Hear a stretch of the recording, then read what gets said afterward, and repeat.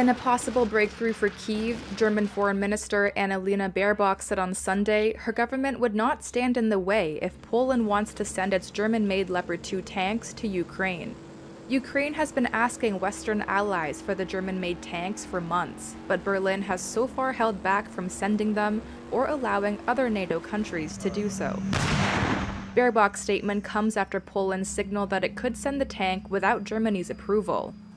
Her remarks appeared to go further than German Chancellor Olaf Scholz's comments at a news conference in Paris earlier that day.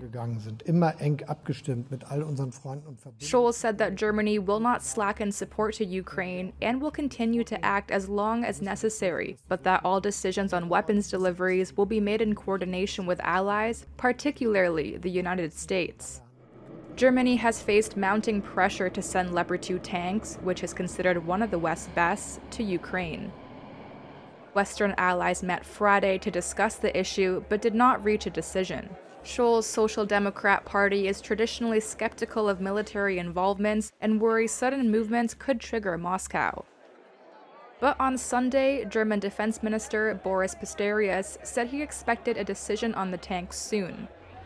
Other allied nations have offered to send their own tanks to Ukraine, but experts say for Ukraine's fight, those tanks don't stand up to the Leopard 2.